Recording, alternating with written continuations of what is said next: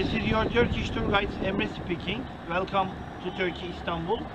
This is one of the most important monuments of Istanbul, Hagia Sophia, the Church of the Divine Wisdom, Hagia Sophia.